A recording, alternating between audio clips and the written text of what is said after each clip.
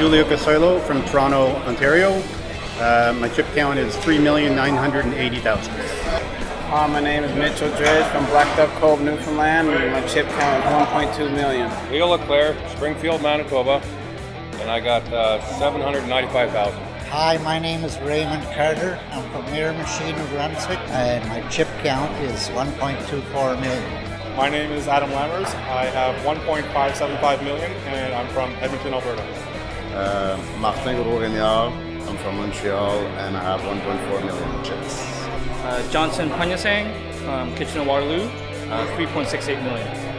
Kareem Kamal from Montreal. I'm at 1.2 million in chips. I'm Daniel Lee from Montreal and I have 5.4 million.